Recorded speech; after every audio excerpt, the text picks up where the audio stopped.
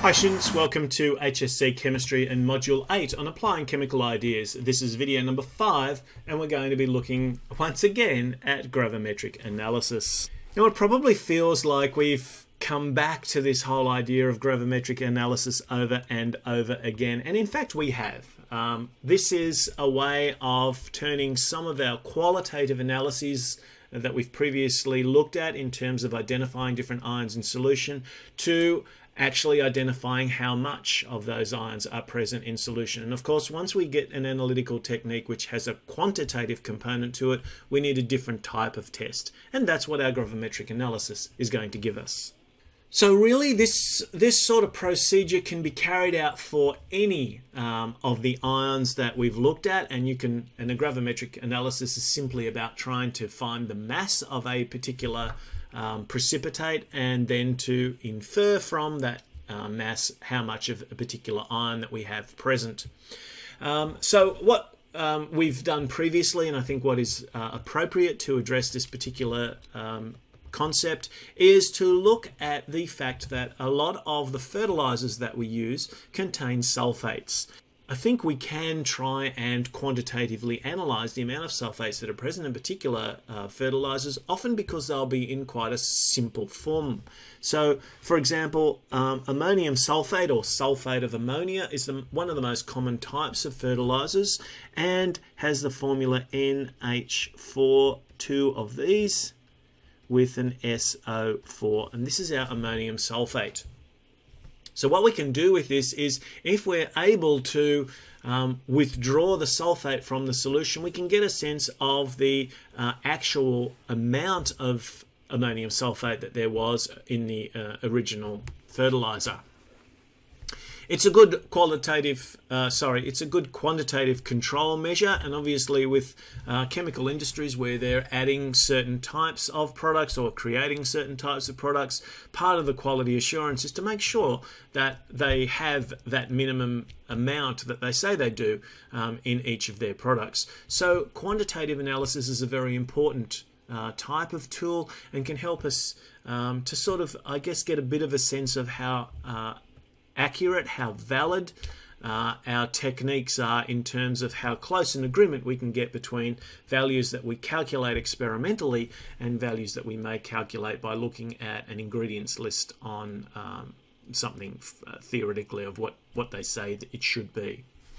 So that's our kind of context. Let's have a look at this procedure in a little more detail.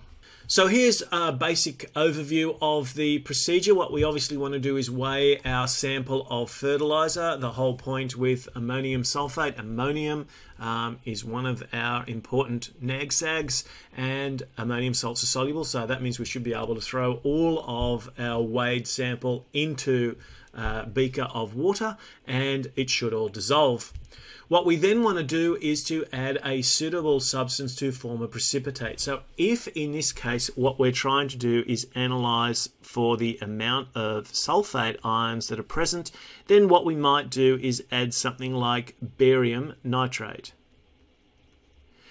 It doesn't actually matter how much of this we add. In fact, what we want to often do is add excess because it doesn't matter if there's lots of nitrates, we don't care about that. It doesn't matter if there's lots of barium ions in the solution, we don't care about that. What we do want to do is make sure that all of the sulfate is precipitated as barium sulfate.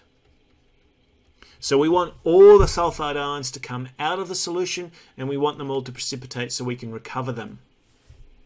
The way we do this can affect the um, quality and the precision and also, um, very importantly, the accuracy of our um, final values. The other problem that we have with um, barium sulfate is it can be very fine and therefore um, normal filtration methods that we use often don't work particularly well. So um, we change those procedures up a little bit. And the diagram that you can see um, has a vacuum. Usually it'll have a vacuum tube, which is withdrawing um, air, kind of uh, creating a suction effect that's pulling that um, solution or that filtrate through quicker. Also, what we find is we often use a sintered glass. It's a more expensive type of filter, um, and that means that it's uh, a much more high precision type of technique. We're less likely to get a lot of our precipitate actually passing through the filter paper and um, ending up in a filtrate. So there's a few slight differences to the way that we carry out this procedure in order to try and increase the accuracy and therefore the validity. What we want to do obviously is then dry the sample. We don't want to be weighing it wet because then we'll have a mass of water as well as our massive precipitate. So we want to make sure that it's nice and dry and then we'll weigh that to give us a massive precipitate. Then we can just work backwards. When we're analysing the results of this particular experiment, there are a few factors that can actually affect the validity of these results. Remember, of course, that we do have a theoretical value which uh, we can obtain from the source. So if we were testing a particular type of fertilizer, it should actually tell us how much um, sulfate we would expect to get or at least maybe how much ammonium sulfate we would expect in that fertilizer.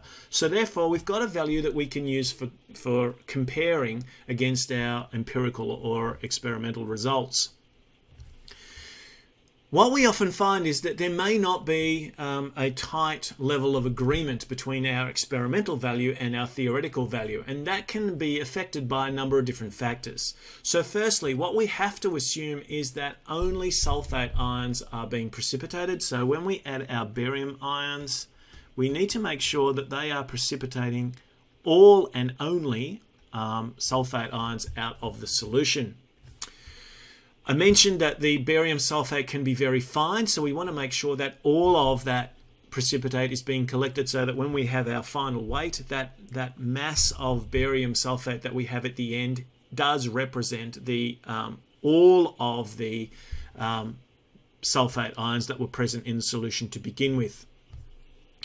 The, the way that we carry out our filtration process does affect the validity of the results and how um, consistently we can get to our answers, which which um, enters into the realms of reliability as well. Is that if we carry out this procedure with very fine analytical grade filter paper, or uh, we use something like a sintered glass filter, then we are filtering with much higher levels of accuracy than what we did before.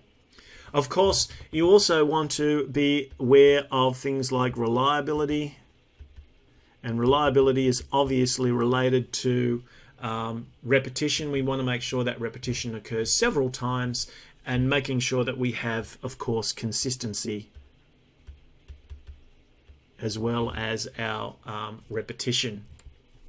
So there's a couple of um, uh, there's a couple of other things I haven't mentioned. Things like oh, I did previously mention things like making sure our precipitate is fully dry, it's not still damp. That can that extra water can affect the mass and therefore our results. Even if some of that is in the filter paper and you're sort of comparing wet filter paper plus the precipitate with dry filter paper before we put the um, precipitate on there. Each of these things can actually affect the accuracy um, and therefore the validity of our results. So this is quite a useful process. Obviously, it is about getting numbers, which means there's going to be a chemical equations, which means there's going to be a little bit of stoichiometry as well as you use those numbers to calculate the um, amount of barium that you could expect in the sample to begin with. But this is one of these interesting techniques quantitative techniques that allows us to get to exactly how much sulfate or of any other particular ion is present in a solution. Thanks for watching.